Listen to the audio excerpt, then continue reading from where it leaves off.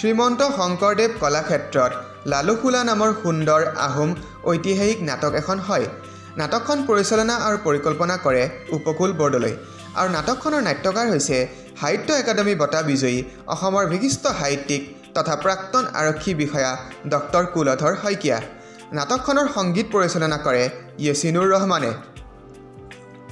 নাটকখনত অভিনয় কৰে বসন্ত শইকীয়া নৱকুমাৰ বৰুৱা নীলোৎপল বৰুৱা আৰু বহু কিছু শিল্পী কলাকুশলী। নাটকখনত শিল্পী কলা কুশলীসকলৰ অভিনয়ে দৰ্শকক খুবেই আমোদ প্ৰদান কৰে। উল্লেখযোগ্য যে এই নাটকখন ডক্টৰ কুলধৰ শইকীয়াদেৱে ঊনৈছশ অষ্টাশী চনতেই লিখা। ইতিমধ্যে নাটকখনে অসমৰ বিভিন্ন প্ৰান্তত বাৰটাকৈ দৰ্শনী প্ৰদৰ্শন কৰিছে।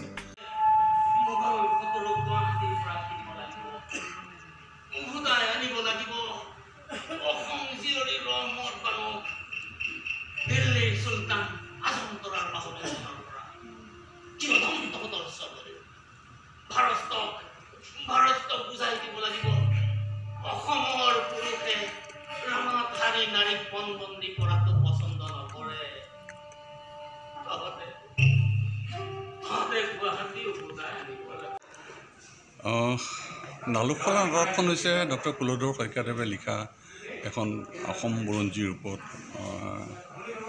যিটো কয় মানুহে খলনায়ক বুলি লালুখোলাৰ চৰিত্ৰটো।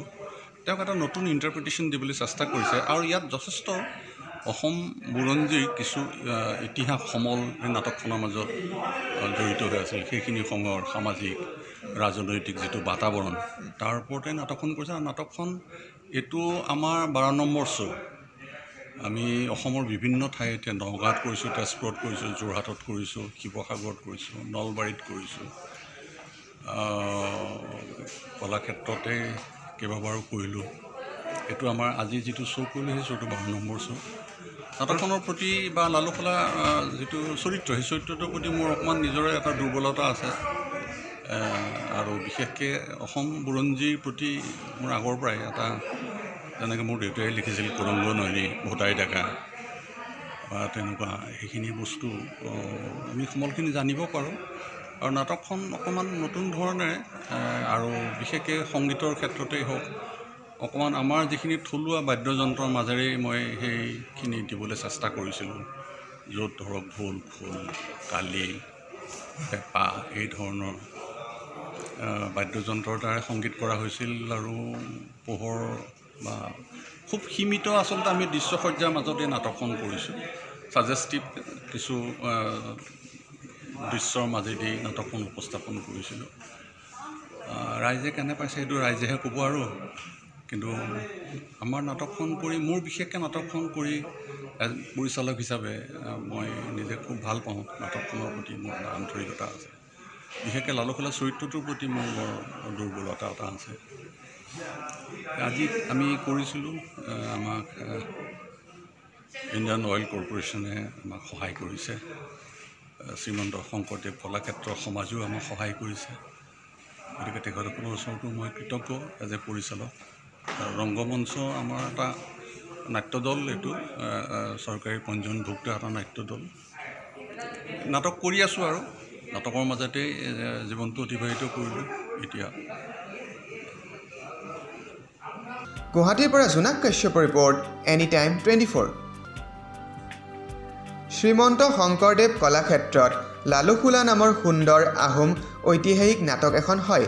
নাটকখন পৰিচালনা আৰু পৰিকল্পনা কৰে উপকূল বৰদলৈ আৰু নাটকখনৰ নাট্যকাৰ হৈছে সাহিত্য একাডেমী বঁটা বিজয়ী অসমৰ বিশিষ্ট সাহিত্যিক তথা প্ৰাক্তন আৰক্ষী বিষয়া ডক্টৰ কুলধৰ শইকীয়া।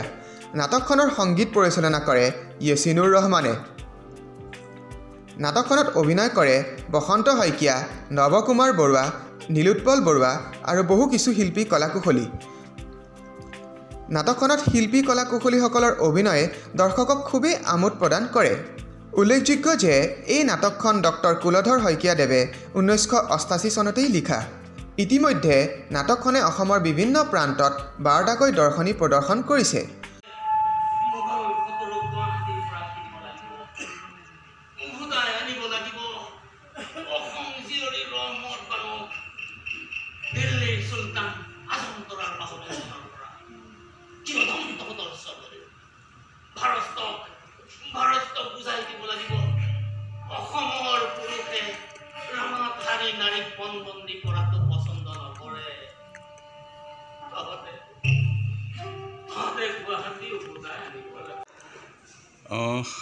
নালুকফলা নাটকখন হৈছে ডক্টৰ কুলধৰ শইকীয়াদেৱে লিখা এখন অসম বুৰঞ্জীৰ ওপৰত।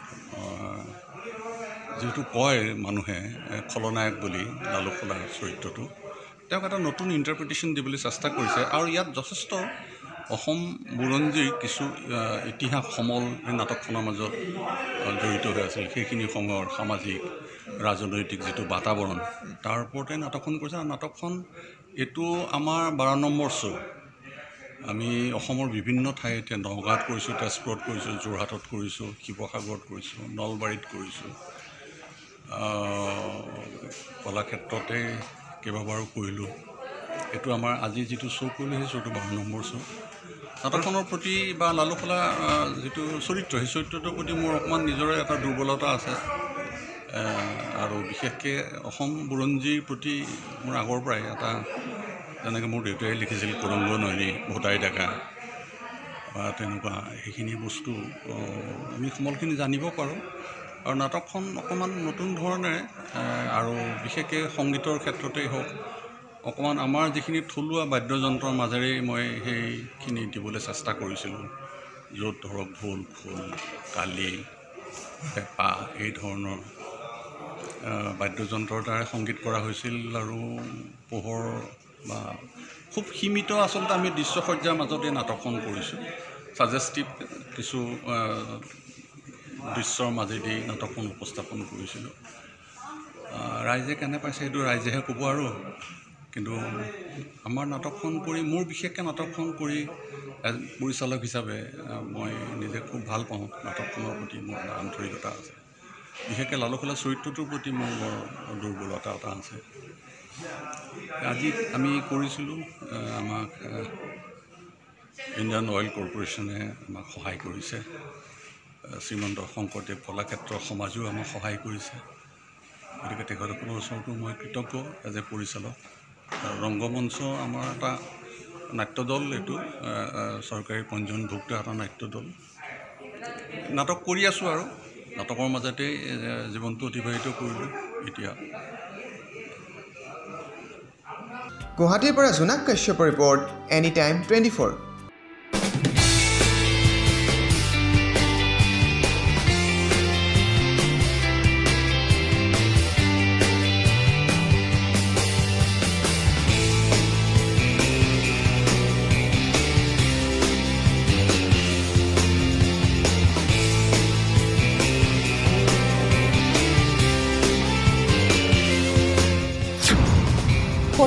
চৰ্চাৰ প্ৰতি আপুনিও আগ্ৰহী নেকি? কেৱল স্কিনখনেই নহয় স্কিনৰ লগতে চুলি কোচায়ো সৌন্দৰ্য নবহায় জানো? লগতে হাত ভৰি যতনো খুবেই প্ৰয়োজনীয়।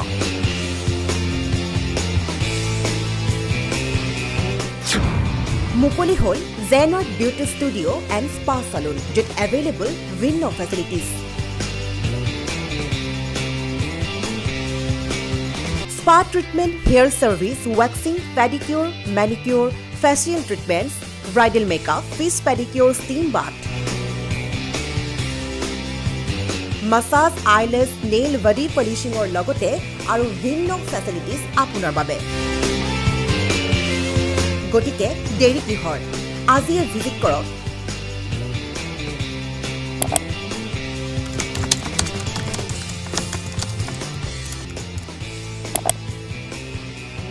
near Jonali stop fourth floor above Canara bank zoo road Guwahati যোগাযোগ কৰক zero' three six one three one nine six zero' five six অথবা seven zero' double nine zero' six two five six zero' নম্বৰত। মাত্ৰ এশ টকাতে ভাগ্য সলনি হ'ব আপোনাৰ। আপোনাৰ ঘৰৰ আলহী হ'ব লাখ টকীয়া বাহন। মাত্ৰ এশ টকা খৰচ কৰি লাভ কৰক আপোনাৰ পচন্দৰ বাহনখন। চাৰিচকীয়া আৰু দুচকীয়া মুঠ তেৰখনকৈ বাহন ৰৈ আছে আপোনাৰ বাবে। মাত্ৰ সংগ্ৰহ কৰক এটা টিকট। হোজাইৰ ডবকাত অনুষ্ঠিত হৈছে বৃহৎ উপহাৰ কুপন খেল। খেলৰ স্থান হৈছে ডবকাৰ নিশাৰীমুখ খেলপথাৰ। প্ৰথম পুৰস্কাৰ এখন বেলেনো। দ্বিতীয় পুৰস্কাৰ ৱেগনাৰ তৃতীয় পুৰস্কাৰ এল্টো কে টেন চতুৰ্থ পুৰস্কাৰ পালচাৰ এন এছ ওৱান ছিক্সটি। পঞ্চম পুৰস্কাৰ হৈছে এফাচি ষষ্ঠ পুৰস্কাৰ হৈছে পালচাৰ ওৱান ফিফটি। সপ্তম পুৰস্কাৰ হৈছে Pulsar N S one twenty five. অষ্টম পুৰস্কাৰ হৈছে Ntorq scooty one twenty five C C. নৱম পুৰস্কাৰ হৈছে Glamour one twenty five C C. দশম পুৰস্কাৰ হৈছে Activa one twenty five C C. একাদশ পুৰস্কাৰ হৈছে Super Splendor one twenty five C C.